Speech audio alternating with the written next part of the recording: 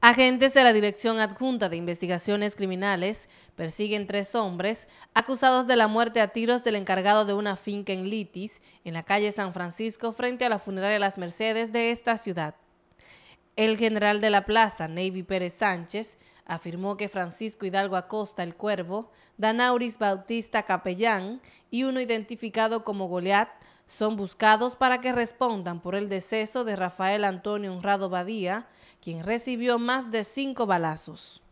Con relación a ese caso, eh, existió un conflicto, la información que se maneja, entre el hoyo Ciso, que lamentablemente falleció, y un grupo de delincuentes por un, por un terreno.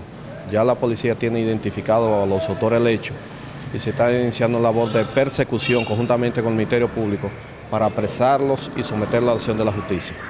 Se recuerda que Hidalgo Acosta, el Cuervo, fue arrestado el 10 de septiembre del 2013 tras ser sindicado como el autor de la muerte a tiros del DJ Eric López en un hecho ocurrido en la urbanización Lora hace cuatro años.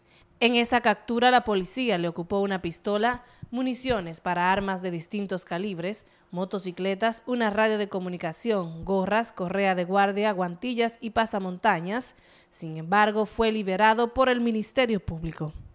NTN y Dalmis Arias.